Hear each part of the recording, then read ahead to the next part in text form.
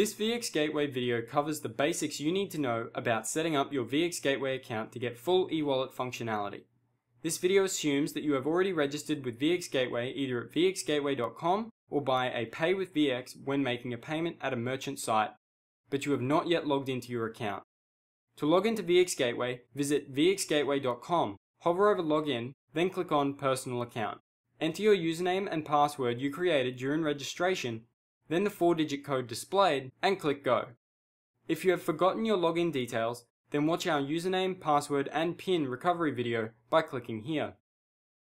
If you were automatically registered through a merchant payment process, you will need to check your inbox for an email containing your automatically generated login details and PIN from no reply at vxgateway.net. The email may have been put in your spam folder, so remember to check there.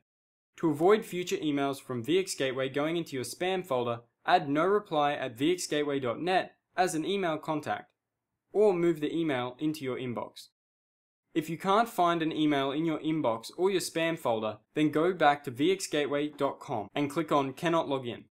Enter the email you believe you registered with or entered when making a payment to the merchant, then click Submit. Check your email inbox again. If you see an email from VX Gateway, then simply follow the prompts within the email. If you still can't find an email from VX Gateway, you will need to contact VX Gateway customer service by clicking on the Contact Us button at the bottom of our homepage. Fill out the Contact Us form and include the email you believe you registered with, your full name, as well as a description of the specific issue you are having while trying to log in. If you believe you were automatically registered for a VX Gateway account when you made a payment to a merchant, please include the merchant's name and website as well. Then click Submit. VX Gateway's customer support team will contact you within one business day to help reset your login details via the email that you entered within the Contact Us form. When you successfully log into VX Gateway for the first time, you might notice your account has not been activated or verified yet. A notification at the top of the screen will direct you to send an activation email to yourself. Click on the Click Here link and an email will be sent to the email address you registered with. Simply click on the link within the email to activate your account. If you are not receiving any emails from VX Gateway, visit the My Profile section and check which email you registered with. If it is the wrong email, you will need to submit a support ticket requesting an email change. Visit support, select new ticket, and fill out the form remembering to include the new email you want to use. A VX Gateway representative will respond within one business day by sending a confirmation to your new email address you wish to use. You can also view the support team's response within the support section here. This is where all of your support ticket requests will be recorded. After you have successfully activated your account's email address, you will need to verify your account by uploading a photo of your government issued photo ID before you can perform any transactions. Click on this video for a walkthrough of the verification process. After uploading your government issued photo ID, your account will now be activated and verified, enabling you to load funds into and withdraw money from your VxLoop e-wallet as well as send and receive money between other verified VxLoop e-wallet accounts. Please be aware that daily and monthly transaction limits do apply, and increasing those limits will be covered later in this video. Within My Profile, you can view all of your personal information, including your general information and your proof of identification. General information contains all of the information you submitted during your registration process, including your personal information, your addresses, and your phone numbers. From the Security Questions tab, you can update your security questions. These are the questions you will need to answer if you ever forget your password, username, or PIN. Your current answers will never be shown here, so make sure you have them recorded somewhere safe. It is recommended that you reset your questions the first time you log into your account and record the answers somewhere safe. Please note that the answers are case sensitive, so be careful recording them correctly. After filling out your security questions, you will be prompted to enter your PIN to confirm the changes. Click Submit and a notification will be displayed confirming the changes.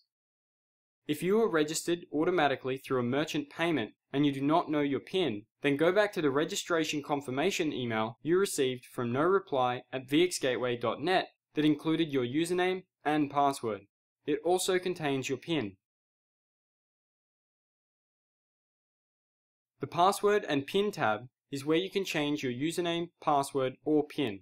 Simply enter the current version of what you wish to change, then enter the new version you wish to use instead. Any alterations to your login details or PIN will require that you enter your current PIN to confirm the changes. The next section within My Profile, Proof of Identification, contains all of your submitted identification documents. If you have not yet watched our How to Verify My Account tutorial video, then this is where you need to upload a scan or clear photograph of your photo ID to become verified. After completing the verification process by uploading a clear photograph or scan of your photo ID here, you will be qualified to perform transactions with your account. Please note that there are initial daily and monthly transaction limits on loading, withdrawing, and sending money using your account. These transaction limits can be viewed within My Account by clicking View within the Limits column. If you wish to qualify for higher transaction limits, you will need to upload at least one more document within the Proof of Identification section to further verify your account. Qualification for increased transaction limits requires two documents that display your current residential address and one photo ID document. Please be aware that if your photo ID you uploaded displays your current residential address, the photo ID will also count as one of the two residential address documents required. If this is the case, you will only need to upload one more document that is less than three months old that displays your current residential address, your name, and the date of issue. If your photo ID displays an old residential address or a post office address, you will need to upload two more documents to verify your current residential address. A photo or scan of your phone or utility bill documents is acceptable. Just make sure your name and current residential address are clearly visible, it doesn't use a post office box as the address, and the document is less than three months old and the date is clearly visible. Please be aware that your residential address displayed on the submitted documents must match the address that is within the Addresses section of your general information. After you have uploaded the identification documents required to qualify for increased transaction limits, you can now make a request from support. Create a new ticket, select the level of urgency, then select the subject as Account Limits. Within the description, include a description of what you would like your limits to be increased to. Click Submit, and within one business day, VX Gateway will check your documents. If your documents are not approved, your support ticket will be updated, explaining why your documents were not accepted and how to resolve the issue and you will receive an email from no reply at vxgateway.net. If you are approved, your support ticket will be updated, your limits will be increased, and you will receive an email confirmation from no reply at vxgateway.net. After successfully increasing your transaction limits, you can view your new daily and monthly limits from within My Accounts by clicking on View within the Limits column. So far, this video has stepped you through logging in for the first time, activating your account, verifying your account, viewing your profile, and increasing your transaction limits. The last thing we will be covering in this video is linking your bank account to your VX Gateway account. Linking your own bank account is not essential. However, it enables you to easily withdraw funds from your VxLoop e-wallet via ACH or Bankwire to your own bank account. From within My Accounts, you can link a bank account by clicking Create New Account. Select Checking Bank Account from the drop-down box, then fill out the required information marked with the red asterisks. Uploading a void check is not required to successfully link your bank account to the accounts list within VX Gateway. However, you will need to upload a void check before you can withdraw any money from your VxLoop e-wallet to your bank account. The photograph or scan of the void check must display the check entirely and be clearly readable. If you are linking a bank account that is located outside the USA, you will need to include the SWIFT code and the currency of the account. Click Submit and your bank account will automatically be added to your accounts list within My Accounts. Your bank account's details will remain editable and unverified until you request your first withdrawal from your VxLoop e-wallet to your bank account. If you wish to link another bank account to your VX Gateway account, simply repeat the Create New Account process.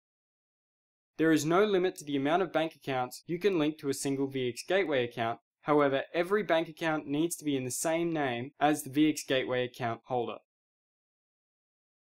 Now that we have covered everything you need to know to completely set up your VX Gateway account, you can now proceed to our How to Use Your VX Gateway account video. If you have had any problems with setting up your VX Gateway account after watching this video, please visit support and create a new ticket. You will receive an email response from VX Gateway within one business day.